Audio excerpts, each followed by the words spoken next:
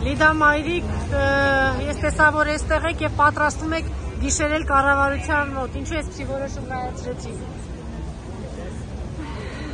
Որտեսի հայ ժողովրդին քնից արթնացնել։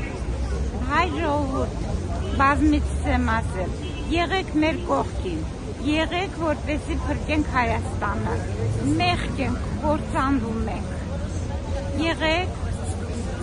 հերոսացին մայրերի ծնողների կողքին։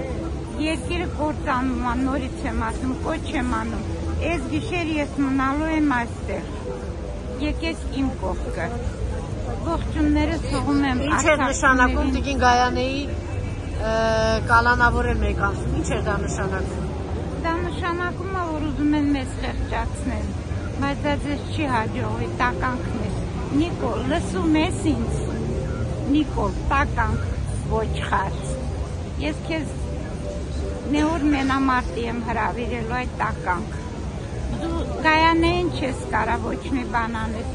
Նորից մի հատ էլ ասեմ, տղուտ բախտը վերելա, որ